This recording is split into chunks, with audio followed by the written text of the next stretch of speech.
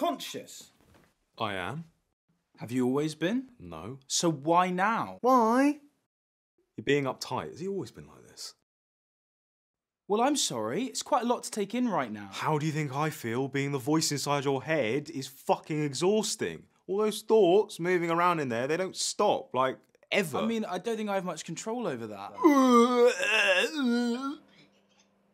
Smell self pity from here. What? Look, I don't mean to disturb whatever the fuck is going on here, so I'm just gonna grab a few of these leftovers and see myself out, okay? Where will you go? I don't know. Wonder what Jamaica's like this time of year. Or Manchester. You can't just leave. Why not?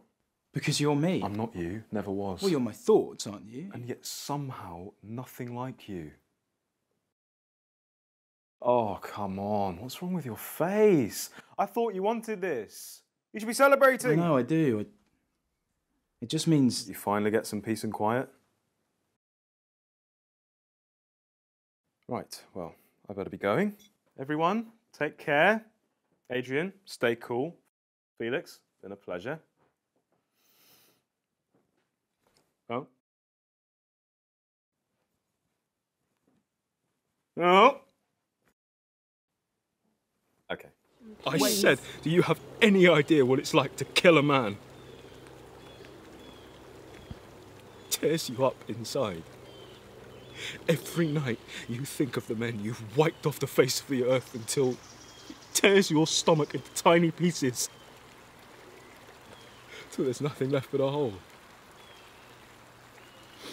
And in the end, the only way to fill that hole is to go do something you'll regret. Something. Like what?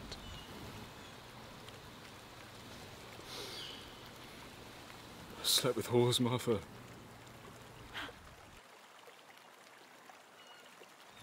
So that makes two of us. I'll make it up to you. Both of you, I promise. I'm so bored of hearing that. It hasn't been easy for me, you know? Maybe if I were her favourite, then none. Oh, grow up. I'll go and see her.